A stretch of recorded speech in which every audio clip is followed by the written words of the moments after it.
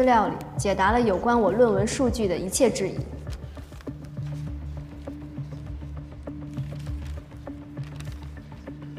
你看出什么来了？这里面有清晰完整的数据采集过程，还有当事人授权书和神经治疗机构开具的证明。这些资料可以完美应对我们之前对他论文数据的质疑，他是有备而来的。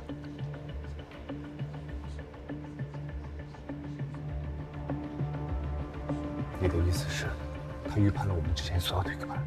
这些数据确实没有造假，我并不质疑这些数据的真实性，因为这篇论文里面所有的临床数据都是我在治疗来访者的时候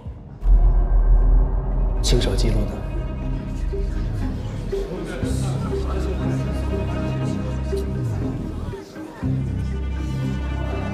呃，安静安静啊，请大家安静一下。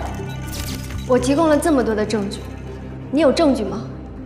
你光凭一张嘴就说我盗用你的数据，大家不觉得可笑吗？季明聪，你到底在垂死挣扎什么？在第六次会面中，来访者的情绪自评量表波动幅度减小。根据你的分析，这种变化是家庭焦点干预的结果，却没有考虑过治疗同盟发生转变的因素。在这篇论文中，只有大量所谓的临床数据，唯独没有任何来访者对咨访关系本身的评估。论文切入的角度不同，也不能说明任何问题。是角度不同，还是因为你只知其一不知其二，或者这组数据的前提是我排除了焦虑障碍、物质滥用等共病诊断的被试者得出来的数据，在你论文中并没有提及相关的筛选过程，这足可以证明你没有亲自参与实验，而且以你现在的临床经验，根本没有能力驾驭异形双向这种难度的案例。是吗？你怎么就确定我没有这个能力？我感觉好多了。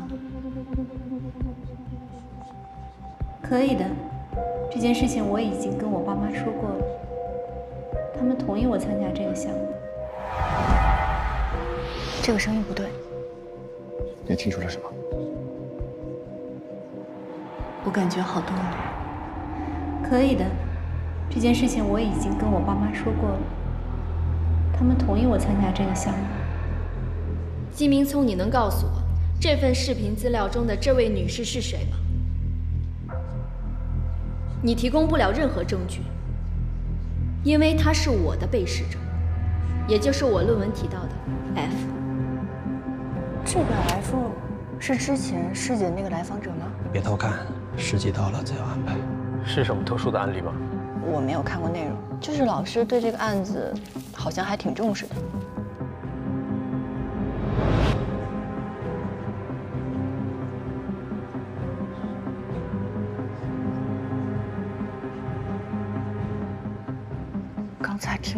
是什么东西？没关系。哎，你还记得咱们化妆品的那次我们听的声音吗？或许我们往往身处在黑暗中，才能捕捉到那些不容易忽略的声音。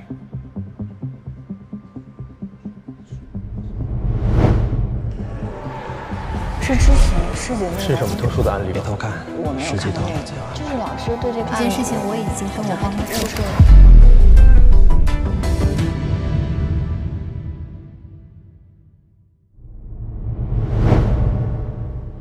谢谢你们对我的信任。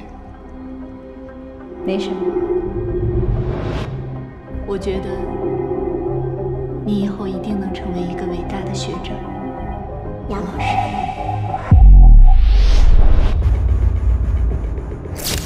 季明聪，我拿出了所有证据，你还有什么问题吗？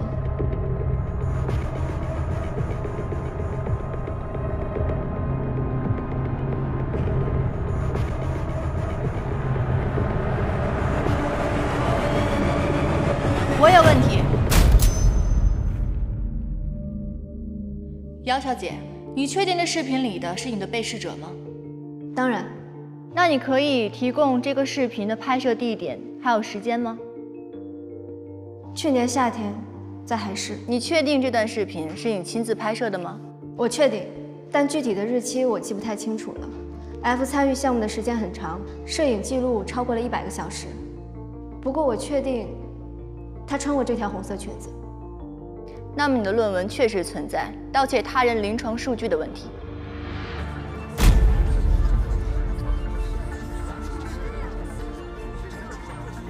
我还是那句话，你有证据吗？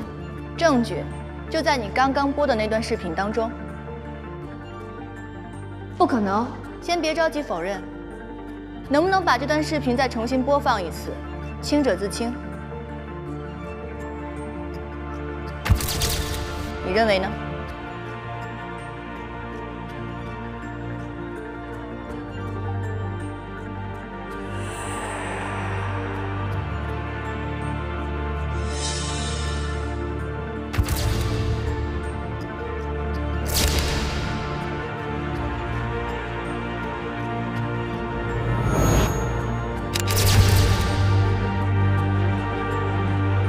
我申请中场休息。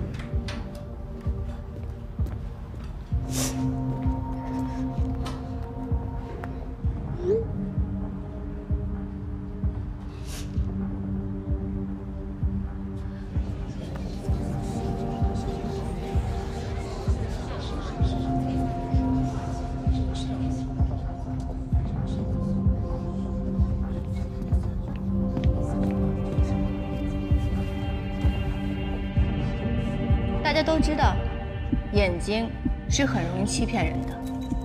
可以通过环境的布置，把冬天变成夏天，把夏天变成冬天，更有可能把一座城市变成另外一座城市。然而声音却没那么好掩盖，但是很少人可以在不同的情景当中听出不同声音的特点。刚刚这段视频当中，大家有听到什么声音吗？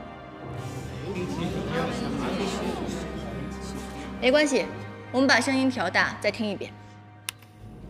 可以的，这件事情我已经跟我爸妈说过了，他们同意我参加这个项目。谢谢你们对我的信任。没什么，我觉得这回呢，有听到什么吗？嗡嗡的，断断续续的，听不清啊。没错，嗡嗡的声音，大家听一下，是不是这个声音？哎，对，就是这个声音，那您猜出来这是什么声音了吗？是歌哨。没错，是歌哨的声音。姚小姐，看您的反应，好像并不知道歌哨是什么呀？那又怎么了？这就是你所说的证据吗？歌哨是一种拴在鸽子尾巴上的哨子，随着鸽子飞翔，哨子会发出声响，而这种声音最容易出现在京北市。当然，很多没有在京北市居住过的人，甚至从来没有听过这种声音。然而，随着这几年玩鸽子的人越来越少，这种声音在京北市也很难听到。姚小姐，那我想请问您，您说的这段视频是去年在海市拍摄的，可视频当中为什么会有鸽哨的声音？难道就不允许有人在海市养鸽子吗？好，我暂且同意你这个观点。那么，为什么视频当中歌少的声音被分成两段了呢？你一开口说话，歌少的声音就会消失，甚至在来访者提到你的姓“姚”这个字的时候，歌少的声音明显产生了断裂。你能跟我解释一下这是为什么吗？姚可欣啊，你知道这个结果可是要关系到你的前程和声誉问题，你能不能给大家伙解答一下这个问题？或者你能提供这个病人的联系方式，让他来为你作证？对。我想唯一的解释就是，姚小姐的声音是经过后期剪辑的。如果大家不相信的话，可以找专业的人士来检查音轨。今天的听证会到此结束，校方将在会后继续求证实验资料的可信度，全力查清事实真相。赫顿，同样是女人，你为什么要这么对我？就因为她是你的老师，你就要帮着那个恶魔一起来伤害我吗？姚小姐，请你不要混淆视听啊！是你自己没法解释他提出的质疑。我需要解释什么？解释你为什么冒充记者，一而再再而三的接近我，还是解释金明聪和他的高徒是如何捏造虚假证据来陷害我的？姚可欣，任何的指责都需要证据。那你可以回答我关于你论文的质疑吗？你可以提交有关于你被试者的联系方式吗？只要你提交了，比你在这儿说一百句都更加有利。你要我提供我被试者的联系方式，那他呢？他能提供他所谓的来访者的联系方式吗？己所不欲，勿施于人的道理你不明白吗？你这是在狡辩。我想学校既然已经答应将这件事情调查清楚，那么我的建议是，我不能。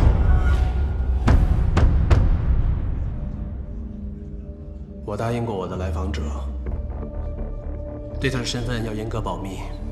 我今天向公众提出这份论文的数据与他有关，在某种程度上，我已经违反了我们之间的约定。姚小姐，我不知道你从哪儿得到这份资料，但我绝对不会再提供有关我的来访者任何的信息，也希望姚小姐停止对我的诽谤行为。不要再泄露来访者的任何资料，闹剧就此打住吧。该做的我都做了，结果你们定吧。金明宗，你现在就想走了吗？你以为你所做的一切真的天衣无缝吗？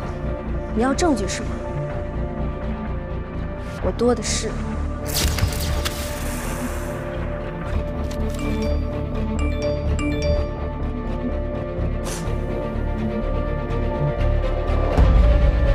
昨天发生的一切，是我此生犯过最大的过错。我违背了一个心理学从业人员的基本操守，愧对于自己的身份，愧对于自己的职业，愧对于你的父母对于我的信任。我不得不面对自己卑劣无耻的内心。从见到你的第一面开始，无数次的在脑海中勾勒着我们相爱相拥的影像，直到现在，我才知道自己是如此的渴望你，从哪来的？渴望我们能够光明正大的在一起，渴望你爱人的身份。这是你给我写的悔过书，你忘了吗，季明聪？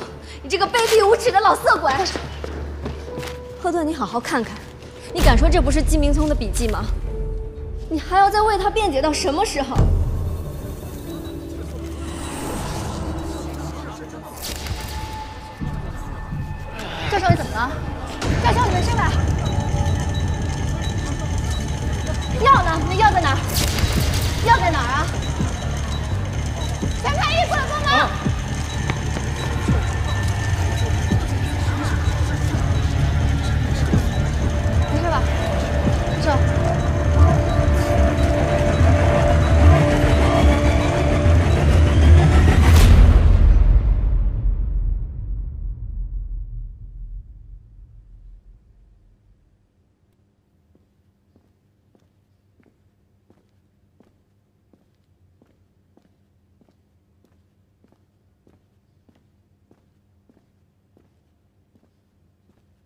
教授，喝点水吧。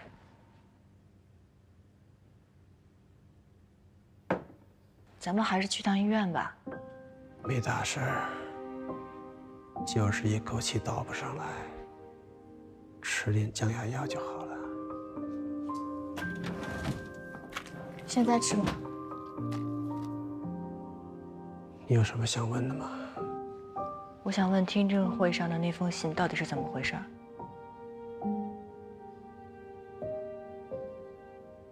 你也看出来了，这听证会啊就是个幌子，姚可欣就是枚棋子，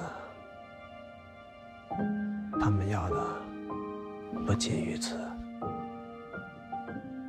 所以你早知道他背后有人，这就一开始你不让我参与的原因。这都是以前的恩恩怨怨，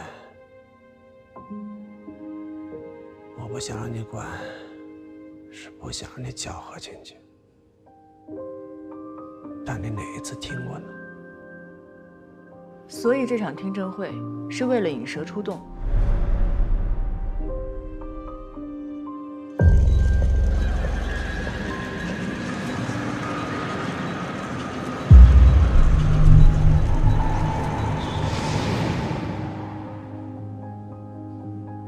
见招拆招罢了。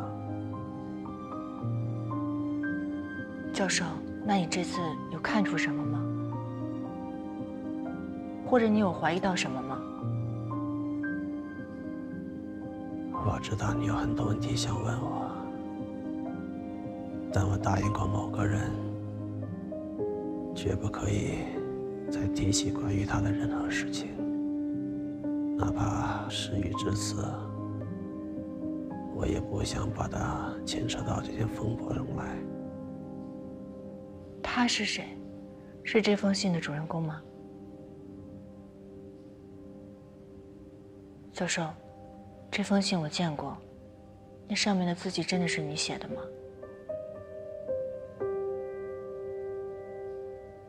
既然你已经有了答案，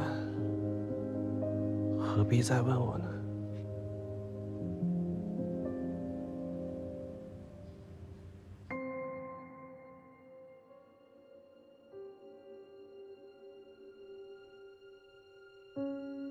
昨天发生的一切，是我此生犯过最大的过错。我违背了一个心理学从业人员的基本操守，渴望他人的信任。要不是季明聪，你妈都不会变成这样的。我上次在您家看到一个紫色的格子，还以为是季夫人的呢。一个朋友给我的。只是一个朋友吗？身后，这能讨点什么呀？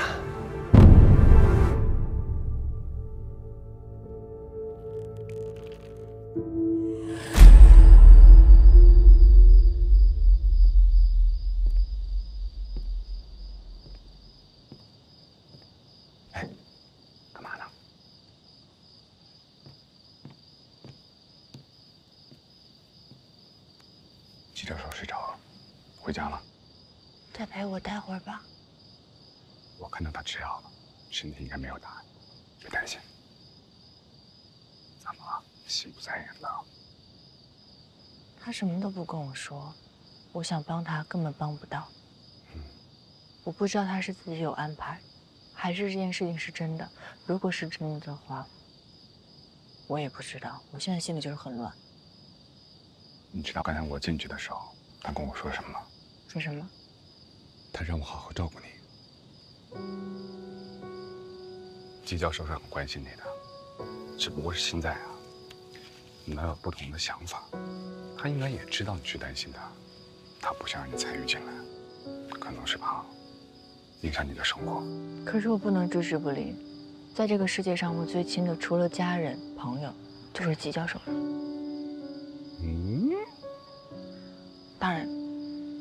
现在还有你。哎，说真的，你觉得季教授会爱上廖可欣吗？我不觉得季教授是那种罔顾道德、公私不分的人。那封信一定不是他写给姚可欣的，但有可能是作为咨询师写给他的来访者的。其实我觉得那封信更像是一封情书。不可能，他在咨访关系里非常敏感，他不会干出这种事情，不会犯这样的错误的。你还记得那封信开头的前两句吗？我违背了一个心理学从业人员的基本操守，愧对于自己的身份，愧对于自己的职业，愧对于你的父母对于我的信任。那封信在忏悔自己的同时，也在表达爱意。我能感受到季教授在写那封信的时候的痛苦与挣扎。按你的分析，那封信就证明他犯了已经无法挽回的错误了。何丹，不能这么想，这人无完人，不能因为我们去信任一个人，就不允许人家犯错。他犯了什么错，为什么犯错，都有自己的苦衷，不能因为我们选择相信某个人，就强行的去要求他必须得做到完美，那样活得太累了。我看你现在都挺累的，要不要我帮你松快松快？啊！怎么了？啊！怎么了？哎呦，疼死我了！啊！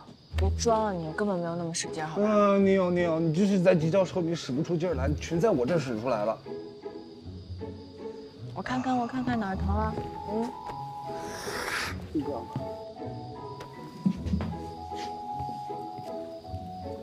有情绪呢，我们至少发泄出来，这没错，是吧？来，男朋友专属。拒绝拒绝拒绝。我只是在假设一些比较严重的情况，这个事情当中呢，他一定有隐情，但是季教授有他自己的固执，那是他的事儿。如果你要是真的放心不下，那我就陪你查下去，咱们查到底。啊，干嘛用那么崇拜的眼神看着我？觉得你傻乎乎的，还挺可爱的。田开业，嗯，谢谢你这么认真安慰我这么久。不是男朋友应该做的吗？走吧，回家。回家。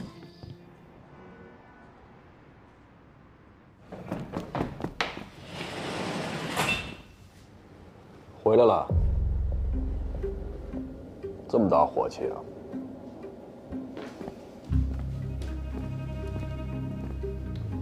喝口茶吧。录像带还不够吗？你为什么要把信也给他？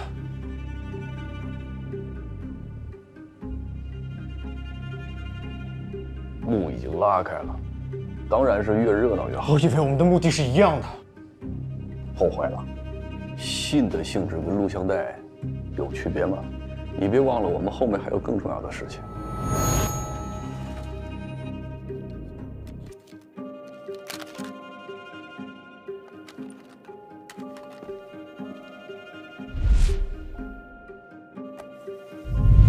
姬明聪身边有何盾，今天要不是那封信，姬明聪就脱靶了。但是你的那封信相当于把他暴露在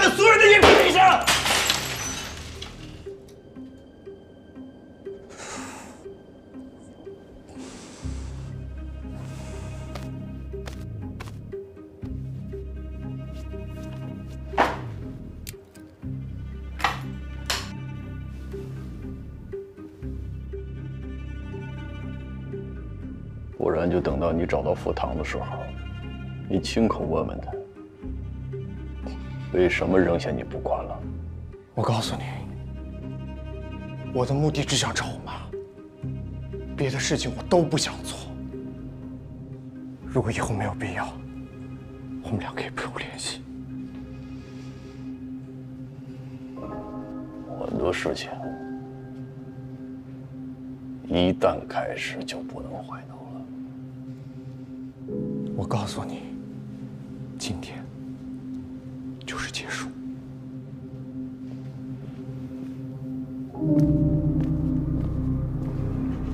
你会后悔的。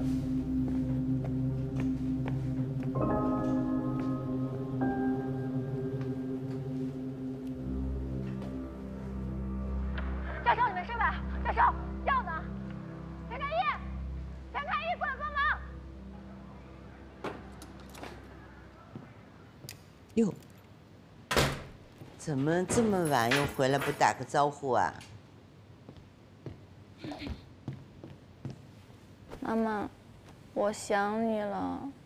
前天不是刚回来，怎么又想我了？怎么啦？前天刚回来，今天就不能回来了？今天不能想你了？不能充充电了？想想充充电，天天想想吃什么，妈妈给你做去。不用了，妈。我的老妈呀，我听见你看新闻了，不用担心我啊。哟，你怎么还有这超能力啊？什么超能力啊？你这门没关严。我在门口都全听见了，想不听到都难。真的是老了，都不知道关门啦。哎呦，老了。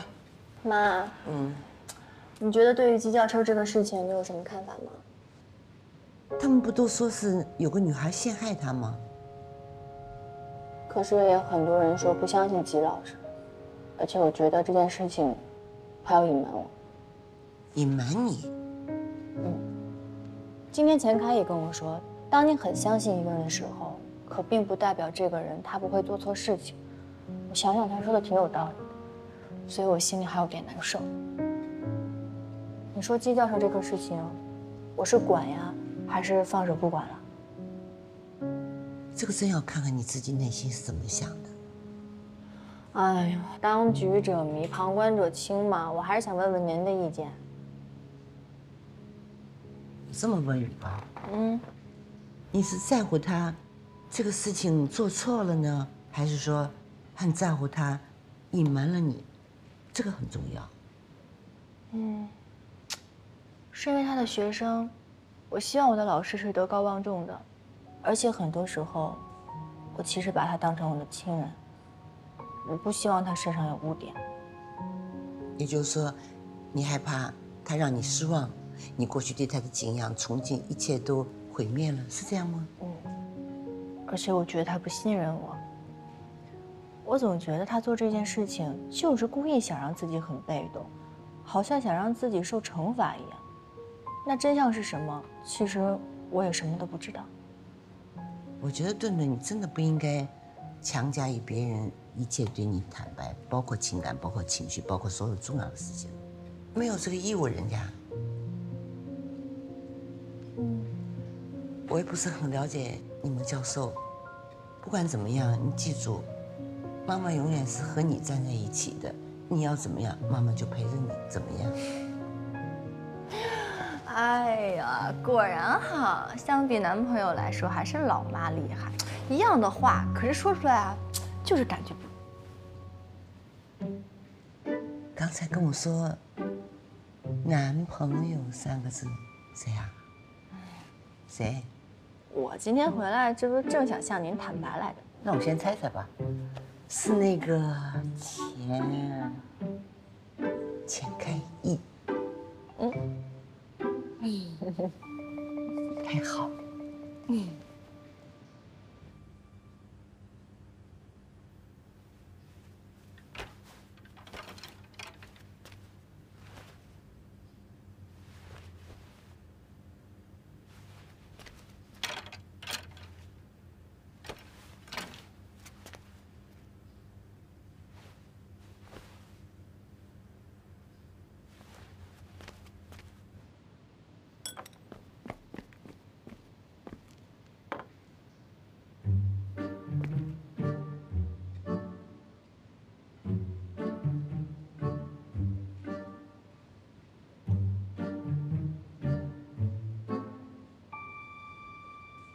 怎么样，好不好看？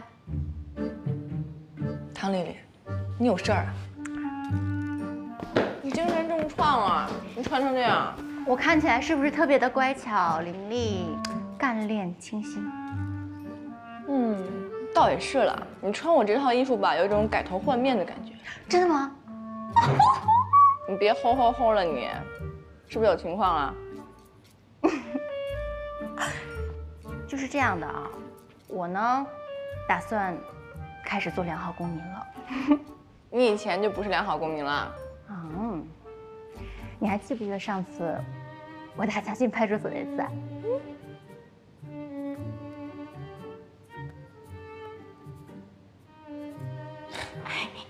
这不是那接警员吗？啊，就他。嗯，人民警察根正苗红的，可以。老何，我跟你说，我真的想明白了。我被自己过去的经历束缚太久了，我不要再依附自己害怕失去的，我要追求自己真正喜欢的。嗯，我给你洗脑洗了这么多年啊，还不如这爱情的力量大。不过恭喜你，才不是呢！我告诉你，要是没有你过去的谆谆教导，哪有我现在的茅塞顿开呀？嗯，我决定啊，为了感谢你的服装指导。我自愿承包一星期家务，怎么样？我才不信呢！哟哟哟哟哟哟哟哟哟哟哟哟，跟田来一出去啊？啊！哎呀，烦死了！那个黏糊蛋，好了好了好了，你快走吧，你快走吧，这我来搞定了。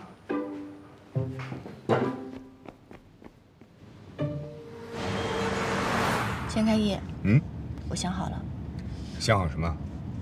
我要做姚可欣的专题。哎，你看路好不好？姚可欣又不是洪水猛兽，没那么害怕的。不是，何顿，这件事我不太赞成啊。我知道你担心我，但你放心吧，我既然想好了，我一定把这个话题做得很好。但有一个道理啊，众口铄金，积毁销骨，尤其是咱们做媒体的，在这一方面更敏感。到时候所有的火力全集中在你身上，你逃都逃不掉。可是，一件事情发生了，那我们要做的，不就是向大众提供更多选择的角度吗？给他们提供辩证思考的渠道，这才是我们应该真正履行的职责。这个道理我懂，但是你一旦发言，不论你说什么，听众更在乎的其实是你的身份，你能明白吗？反正我已经想好了，你就放心吧，这个专题一定做的不会很差的。而且，《心扉夜话》也是我的节目，我不想让小黎跟东子在台里过得太艰难。你这么做，不会是为了我吧？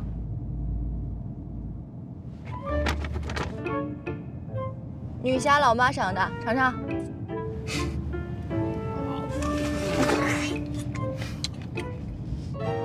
再见啊！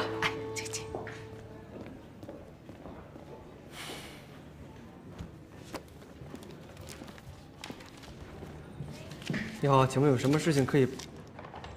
嗨，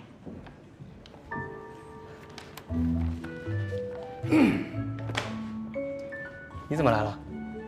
我来办事儿啊。看着不像有什么事儿啊。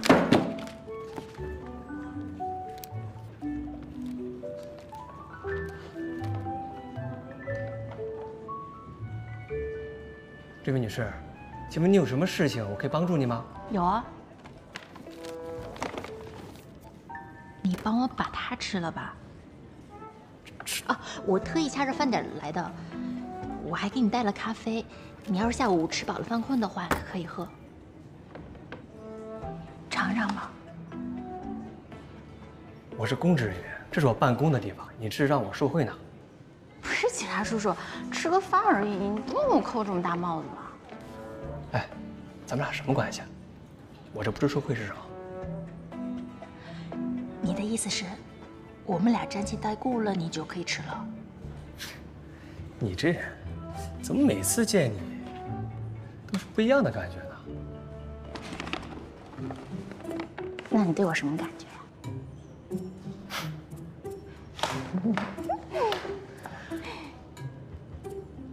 你要是再不走，就是妨碍公务了啊！不走，那你把饭吃了，我怎么走？说了，我不吃。浪费就是犯罪。行吧，反正我就放这儿了，你想吃就吃。那我不打扰你办公了啊，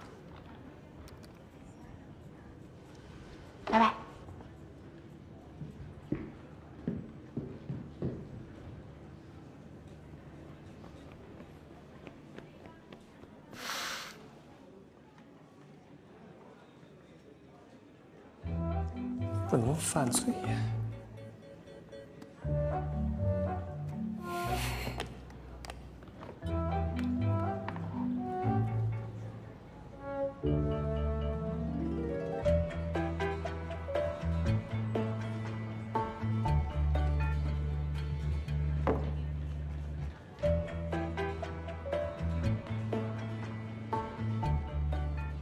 各位听众朋友们，大家好，欢迎收听收看今天的时间访谈，我是你们的老朋友王卓。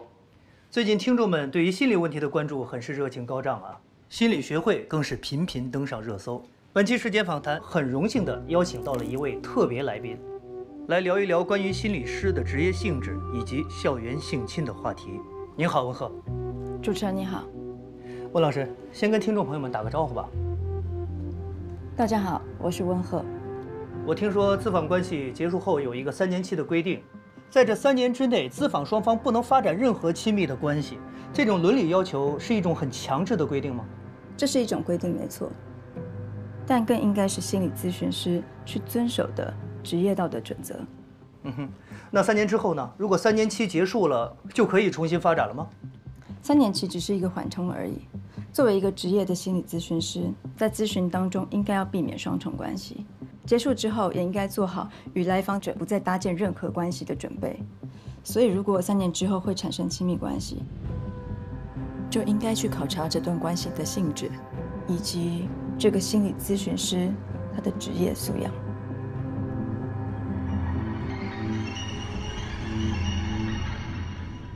没有想到世界上真的有这种阴阳人，但是他那样的人居然帮李薇讲话。我不知道贺顿是谁。我当时看李薇的节目还挺喜欢他，觉得李薇和姚可欣都很可怜，就是希望那个女主持人不要再借着他们炒话题了。大概也就是为了节目收视率吧。只要他玩双标，这种人太恶心。如果不是因为金明松是他的老师，他会这么帮他吗？丽丽，要不要吃早饭啊。唐丽丽，啊啊，怎么了？藏什么呢？没什么呀。啊，老贺，这些人就是无中生有，他们说话根本就不经过大脑的，你别听他们的啊。了解你的人都懂你，不了解的人根本就不重要。你放心，不管多少流言蜚语，我们这些人都会站在你这边的。老贺，你要是难受你就说出来，那实在不行你哭出来也行，我陪你。你这样容易憋坏的。有问题。啊？听证会刚刚结束，就有人把我跟教授的关系拿来大做文章，这动作可真够明显的。你在想这个呀？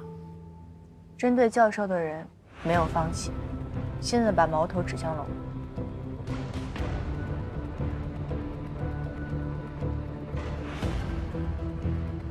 你一个季教授的学生，他他他他们攻击你干嘛呀？现在能为教授说话的只有我一个人。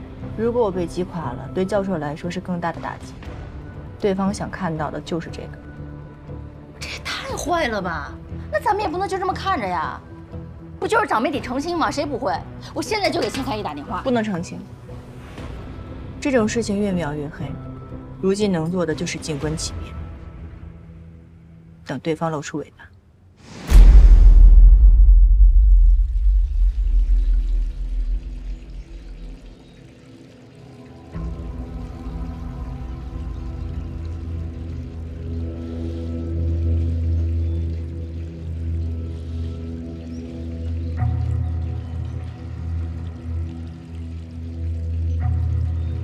佳慧，我原来不知道你为什么喜欢住在这么偏僻的地方，我现在才明白，你喜欢在这里当缩头乌龟。不好意思，我想借个厕所。好，就在最里头。录像带是你拿的，我不过是用了一点小手段，你不也一样吗？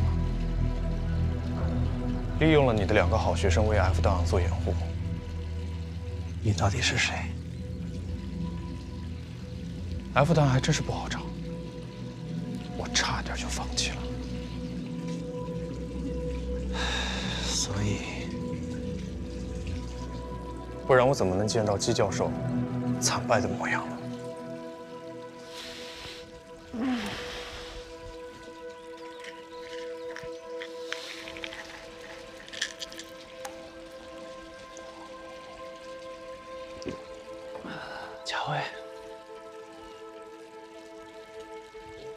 你是个好孩子，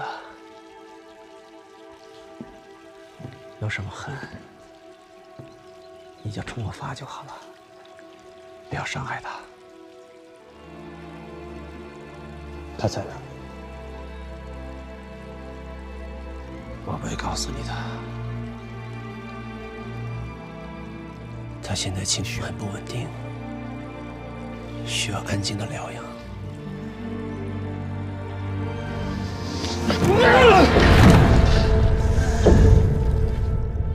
天哪，听说了吗？听说了吗？哎，咋了？天咋的了？天塌了？嘘，我有一种不好的预感。我刚路过茶水间，我听见王卓和温赫的对话了。王卓说他们节目效果特别好，观众对温赫那叫一喜欢。那跟咱有有啥关系啊？王卓说要多做几期心理咨询类的节目，要让温赫做固定嘉宾。啥玩意儿？这不和我们一样了吗？这是抄袭啊！就是，而且更气的是，王卓说温鹤更有媒体感，说潘台有意让温鹤取代我们贺老师的位置。这话是王卓说的。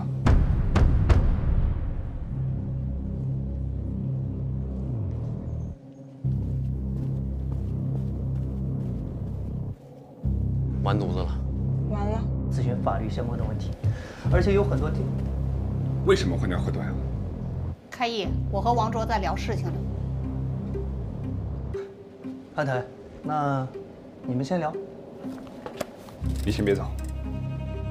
您之前特批把张淼弄走也就算了，现在节目就剩我们几个人，好不容易把新飞夜话给撑下来了，磨合了这么长时间，您又要换人？台里还没做最后决定。钱大主播，潘台这么做肯定也是为了节目考虑。你这么冲进来，不是为难他吗？我是怕他被有些小人的花言巧语蒙蔽了。钱开义，你到底什么意思呀？我还没问你是什么意思呢。你找了个心理咨询师也就算了，连做节目的选题也跟我们一模一样。你这么喜欢心扉夜话，干脆过来跟我混得了。我是听说你拒绝了校园性侵的提案，我才拿过来做的。那你听说过吗？我后来要向班台提案了。开义，是我让王卓这么做的。我知道你很能干，也很有想法，但是你要想想，你的想法重要还是台里的想法重要？事实证明我的决定是对的。你不要问我为什么要换掉贺顿，你自己问问你自己，你珍惜过我给你的机会吗？事实证明，你们这一期节目的成功，是因为心扉液化的模式正确，但不能证明这两个心理咨询师哪个更受欢迎，对吧？一样的形式，一样的内容，不是高下立判了吗？那你敢跟我比一比吗？啊？我们各凭本事做一期节目，看谁的收听率高。钱天意，别胡闹！这个消息爆了，爆了，爆了！你听到什么了？天哪！行了，差不多走吧。啊？那我们就互相切磋一下。